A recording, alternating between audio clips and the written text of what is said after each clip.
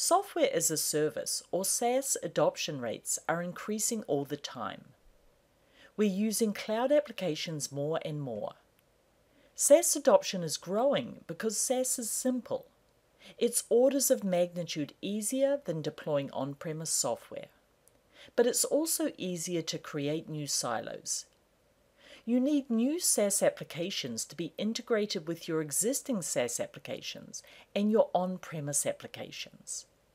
Cloud integration should be as simple as SaaS. You need to integrate your applications in minutes, not months. But so many companies have experienced cloud integration problems.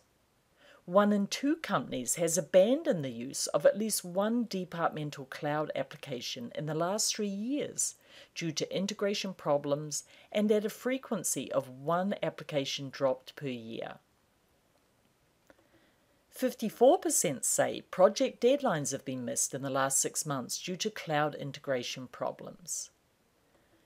42% have seen data security breaches in their department associated directly with the use of cloud applications, averaging six incidents per department in the last 12 months. 68% of cloud adopters have attempted integration, but 86% of these encountered negatives along the way. In fact, 55% have tried and failed. Cloud integration can be very challenging. IT needs to understand various integration options exposed by cloud applications. Developers often need to be trained on cloud applications and their integration technologies. Security is an issue, and there's usually multiple integration options. This results in a lot of manual development effort which increases cost and time to market, when what you really need is agile delivery of integrations between your cloud applications and between your cloud and on premise applications. The solution is Integration Cloud Service, which integrates applications across clouds and on premise. It simplifies connectivity between key enterprise applications like Fusion applications, RightNow, Eloqua, eBusiness Suite, and other third party SaaS and on premise applications.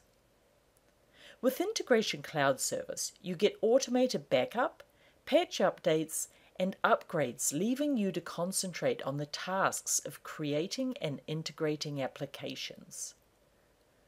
Also, there's no data mapping from scratch. In fact, no hand coded integration is required. And you get enterprise grade security and governance capabilities.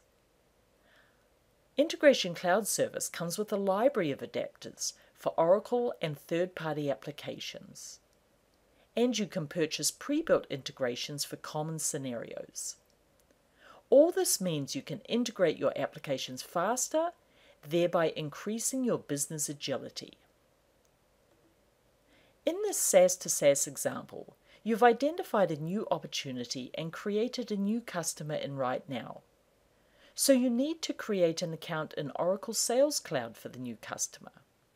You need to map the data between the organization object and RightNow and the account object in Sales Cloud, as these use different formats.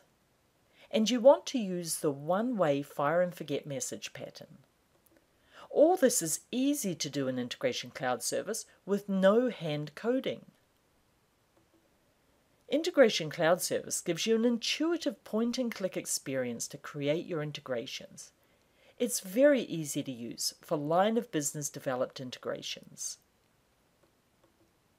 Let's look at the development lifecycle for Integration Cloud Service. The first step in integration design is to identify the applications you want to integrate, and then configure the connection details for these applications. You do this by creating connections which are based on pre-built adapters. After your connections are in place, you create integrations by dragging and dropping these connections into the designer.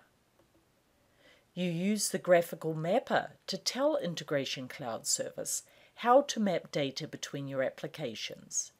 Then you're ready to activate, test, and use your integration.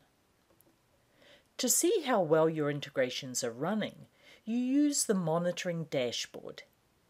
Here you can pinpoint bottlenecks, monitor errors, and see details for each running integration. We'll cover all these stages in the development lifecycle in later lessons.